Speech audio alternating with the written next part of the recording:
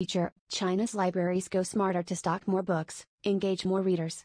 Baoan Library in Shenzhen, South China's Guangdong province has implemented an intelligent robotic sorting system that can handle returned book deliveries.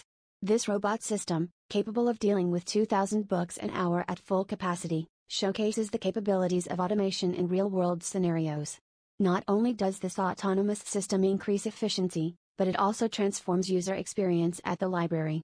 With four self service windows, the technology empowers users, a trend that's increasingly essential in all customer facing sectors. Beyond the library, this application of technology is opening doors for countless other sectors, including the retail industry. Implementing such systems can streamline operations, improving accuracy, speed, and overall customer experience, which is crucial in today's fast paced retail environment. The fashion industry can benefit from similar applications of automation and robotics.